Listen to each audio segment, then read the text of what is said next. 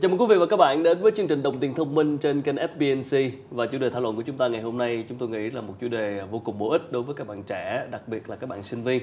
Đó là những kỹ năng chuẩn bị cho việc phát triển nghề nghiệp. Mời quý vị cùng gặp gỡ với vị khách mời của chúng ta ngày hôm nay, đó là chị Nguyễn Trần Phi Yến, là sáng lập của Zigzag Career, là một trung tâm cung cấp dịch vụ và các khóa học định hướng nghề nghiệp cũng như là hướng dẫn cách tạo hồ sơ xin việc. À, chào Yến đến với chương trình. Dạ, dạ, Um, vì sao Yến lại lập ra Zigzag Career? Dạ, vì uh, khi mà tôi học ờ, uh, 4 năm đại học thì uh, tôi cũng gặp rất là nhiều vấn đề giống như các bạn sinh viên bây giờ đó là không biết là thực sự cái ngành nào nó sẽ phù hợp với uh, tính cách cũng như là cái ước mơ của mình.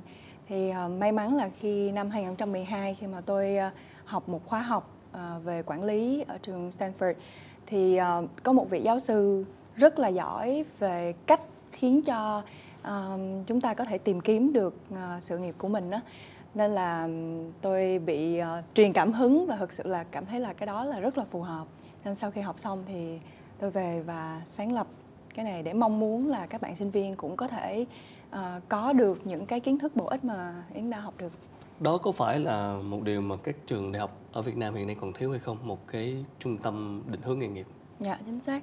Ờ, cái trường đại học hiện nay cũng có một vài trường có trung tâm về định hướng nghề nghiệp nhưng mà các trường thì chỉ chủ yếu là cầu nối giữa doanh nghiệp và sinh viên Ừ. nhưng mà chưa có những cái khóa học bài bản và ờ, dịch vụ ờ, cần thiết để sinh viên có thể khám phá bản thân mình Ừ. tìm về cái tính cách thiên hướng cũng như là cái nhu cầu xã hội và giúp các bạn biết được là cái um, cái nghề nghiệp nào sẽ phù hợp với mình thì cái đó vẫn còn đang thiếu Tiếp xúc nhiều với các bạn sinh viên thì ờ, Yến thấy là các bạn ờ, sinh viên ở Việt Nam thường thì mắc phải những cái điểm yếu như thế nào trong cái việc là chuẩn bị cho sự nghiệp? Dạ. Thì ờ, theo tôi nghĩ là cái đầu tiên các bạn còn thiếu đó là cái nhận xét về bản thân mình, cái đánh giá bản thân mình. Ờ, hầu hết các bạn ví dụ như các bạn học lớp 9, lớp 10 thì các bạn nên có một cái trắc nghiệm tính cách để biết được là uh, mình có những điểm mạnh và điểm yếu gì? Và từ từ trong suốt cái thời gian mà cấp 3 các bạn có thể theo dõi giống như là theo dõi bản thân mình coi là mình thay đổi như thế nào. Thì uh, cái điểm yếu theo tôi nghĩ lớn nhất đó là các bạn vẫn chưa xác định được khả năng của mình đến đâu và mình hạnh phúc khi mình làm cái điều gì. Và sau đó khi mà các bạn học đại học thì lại dẫn sang một cái đó là các bạn thiếu về kỹ năng chuyên sâu. Ừ. đó là các bạn học mỗi thứ một chút nhưng mà không chuyên thực sự về cái nào hết Ừ. và tiếp theo các bạn ở nhà trường quá nhiều thì các bạn lại thiếu về kỹ năng xã hội dạ cho nên theo tôi nghĩ đó là ba cái giống như là ba cái cái kiềng ba chân để mà các Ừ. bạn có thể ờ, ra trường và quyết định mà làm gì thứ nhất là bản thân khám phá về bản thân mình đó Ừ, là biết một mình cái muốn gì không? dạ Ừ. cái thứ hai là à, phải có một cái gì đó về chuyên môn làm thầy à, làm thợ Ừ. và tiếp theo đó là tạo cho mình một cái um, kiến thức về xã hội Về cái kiến thức về xã hội, về cái kỹ năng xã hội như Yến vừa nói đó thì rõ ràng các bạn ờ, học trên ghế nhà trường. Như vậy thì có những cái cách nào để để để gia tăng cái kỹ năng, cái kiến thức về xã hội? Dạ.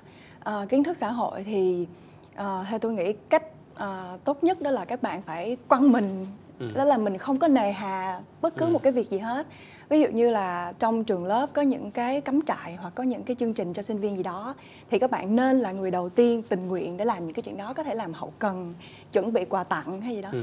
nhưng mà nó tạo ra một cái sự gắn kết giữa các bạn trong lớp bởi vì hầu hết sau này khi mà ờ, tôi ra làm việc thì những cái người cùng học chung với mình và ngay cả các anh chị năm trên nữa khi các bạn làm những cái hoạt động sinh viên đó thì các bạn biết được anh chị năm trên và thầy cô cũng biết rõ mình hơn. Và các bạn ờ, khi làm những chương trình đó các bạn xin tài trợ thì biết về các anh chị làm marketing ở các Ừ. công nhãn hàng lớn. Thì đó là bước thứ nhất là các bạn nên không nề hà làm bất cứ việc gì trong cái hoạt động sinh viên. Cái thứ hai là thực tập. Ờ, hầu hết ở đây thì các bạn chỉ thực tập một lần một ừm, trong năm ba thôi. Ừ. và các bạn nghĩ như vậy là đủ rồi nhưng mà yến nghĩ là hàng năm đều phải đi thực tập hết. Mỗi năm thì mình sẽ đi thực tập ở mỗi cái lĩnh vực khác nhau và tốt nhất là nếu mà các bạn đi thực tập ở một cái công ty gì đó mà nó có thể zoom ra nhiều cái lĩnh vực khác nữa Ừ. ví dụ như là tôi đã từng làm việc ở Savills Việt Nam Ừ. thì đó là công ty về bất động sản nhưng làm về mảng cho thuê văn phòng thì khi đó mình phải tiếp xúc rất là nhiều ví dụ như công ty thời trang sẽ có cái cái điều kiện khác nhau Ừ.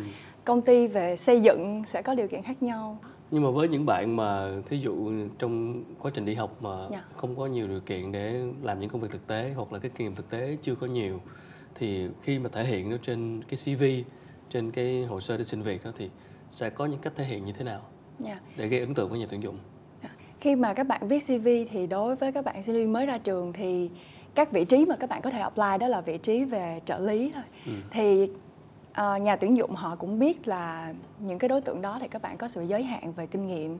Cho nên cái đầu tiên mà nhà tuyển dụng khi mà họ tuyển sinh viên mới ra trường hoặc là đang còn sinh viên Ừ. thì họ sẽ nhìn vào cái nơi mà các bạn đang học Ờ, học các bạn học trường nào và các bạn học ngành gì Ờ, họ sẽ không tìm kiếm các bạn là phải làm ở công ty lớn hay gì nhưng mà các người họ sẽ thấy là trong quá trình các bạn học như vậy thì các bạn có tham gia vào một câu lạc bộ nào một tổ chức xã hội nào ở Ừ. lớp hay ở trường lớp hay không hoặc là các bạn có thể tham gia vào Sài Gòn Children Charity một tổ chức từ thiện với một Ừ, tư cách tổ là tình nguyện dạ Ừ.